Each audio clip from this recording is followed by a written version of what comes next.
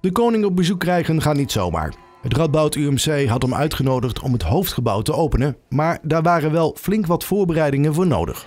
Nou, bij de organisatie van zo'n bezoek en waar dan de koning bij is, nou, allereerst volgt er dat je een programma gaat maken. En dat dat programma moet ook nog weer door het Koninklijk Huis bekeken worden. Hè. Wat wij voorstellen is dat akkoord.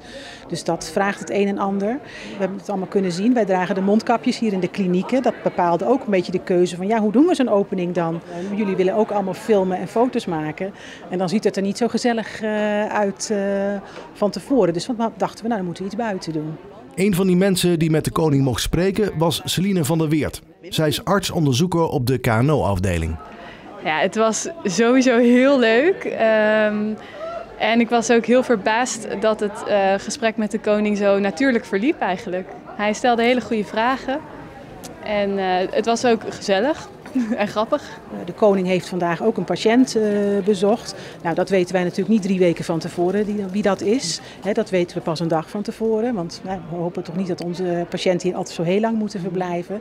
En dan is dat ook natuurlijk wel weer een heel leuk moment. Mensen vinden dat ook spannend. En ook op zo'n afdeling waar dat dan gebeurt. Dus dat, uh... En was er een uh, wc bijvoorbeeld voor de koning gereserveerd? Er wordt gewoon op de route gekeken van waar hij eventueel van uh, faciliteiten gebruik kan maken. Dus daar wordt echt niks speciaals of aparts voor uh, gedaan. Ik doe onderzoek naar uh, de nazorg voor mensen die behandeld zijn voor kanker in het hoofdhalsgebied. En um, wat we onderzocht hebben is onder andere dat mensen die komen nu vijf jaar op controle, wat best wel lang is en wat ook veel uh, vraagt van patiënten, veel stress oplevert. Maar we zien dat die tumoren vaak maar in de eerste half jaar uh, terugkomen en daarna bijna niet meer.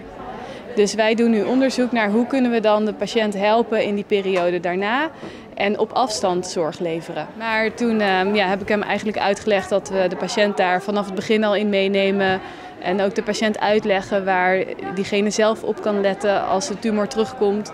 En we zijn natuurlijk ook altijd nog steeds bereikbaar. Nou, het was gewoon een hele bijzondere en leuke dag. En uh, ik denk dat hij het zelf ook leuk vond. Zo kwam het in ieder geval wel op mij over. Goeiedag.